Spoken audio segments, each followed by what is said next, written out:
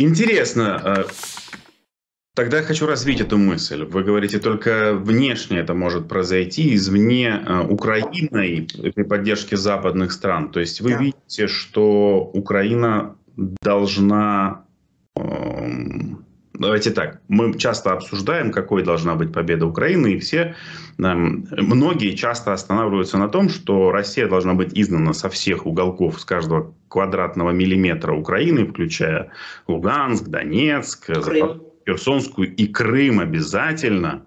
И только это будет полной победой. Что может остановить Россию от повторного вторжения? Это, наверное, все-таки смена режима. Э, но для того, чтобы режим сменился, как вы говорите, с помощью да, извне.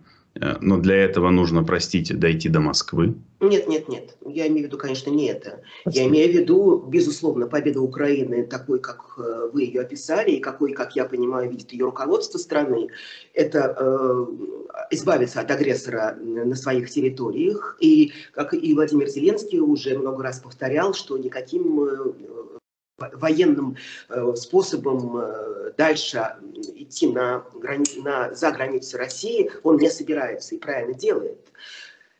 Вопрос в другом. Но я ничего нового вам не скажу. Это Гага, это военный трибунал над, над преступниками. Да, но для этого их нужно задержать. Да, задержать. Как, слушайте, я, я этого не знаю, как задерживают преступников как, э, что, что должно произойти? Должен быть какой-то, должны ли сдать, сдать свои? Вполне возможно. Я, я почти уверена, в школе у нас такой разговор, и могу говорить все что угодно, я свободна в своих высказываниях, ни за что не отвечаю, в отличие от Папы Римского. А в конце концов, э, мир знает э, массу вариантов, э, как справиться с, с агрессором, как найти возможность или ликвидировать, или арестовать, или объявить военным преступником, объявить режим преступным, в конце концов. Наверняка я почти не сомневаюсь, что такие сепаратные переговоры, о которых мы не знаем и узнаем когда-нибудь, они ведутся с ближайшим окружением Путина. Если уж во время Третьего Рейха вели, велись сепаратные переговоры с представителем рейхсканцелярии, то сейчас уж тем более – я думаю, что мы об этом узнаем. Конечно же, нет, никто не будет бомбить Москву, и это безумцем, э, чтобы сбрасывать бомбы на ядерную державу. Это, это, это нереально, и это никто не будет бомбить, бомбить Москву, как Белград когда-то. Да? Но я уверена, что сегодня цивилизационный мир, цивилизованный, простите, он имеет все возможности и все ресурсы для того, чтобы принять решение и осуществить, собственно, э, это, это осуществить этот важнейший э, принцип наказания военного преступника. Он существует. Это нарушение всех международных прав, всех международных соглашений. Это военные преступления. Это геноцид, в конце концов, который уже доказывать не надо. Он, он, уже, он уже доказан он уже, э, я думаю, что мало кто сомневается в том, как назвать то, что э, сегодня делает Россия и лично Владимир Путин на территории Украины. Поэтому осталось только принять решение. Вот и все.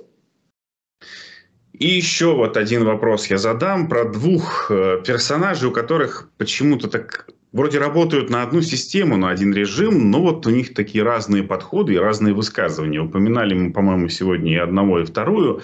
Медведев который, ну, тут просто уже, я не знаю, человек шикарной фантазии. Тут у него и надменные жрецы, и кровожадные адепты, глумливые прислужники, бессловные, бессловные манкурты. Подсвинки, подсвинки мне очень нравятся. Это Хрюк, хрюкающие подсвинки. Разномастная сфора хрюкающих подсвинков, стая лающих собак из западной псарни, куча безумных нацистов-наркоманов. Но это мы уже слышали.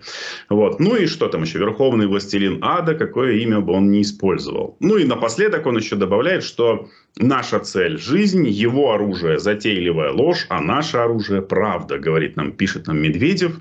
Ну, тут уже правда. Ну и Симонян, то есть один демонизирует максимально, рассказывая там про чертей, про подсвинков. И Симонян, который рассказывает про чернобровых Оксан, на которых будут, значит, мужчины оборачиваться и сворачивать шеи. Там секретарь СНБО Данилов, правда, сказал, что очаровательные Оксаны будут плевать на собачьи могилы ваших мужей, которые будут лежать с этими свернутыми шеями. Вот. Но я хотел спросить не про Данилова, его ответ мне понятен. Что это за биполярное расстройство? Что это за вот качели, которые от крайнего демона до чернобровых Оксан?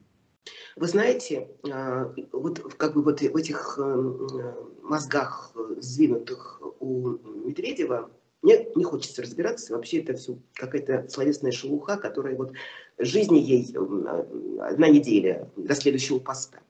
Но там есть одна вещь. Вот вы сейчас прочитали, вдруг я поняла то, что мы не услышали.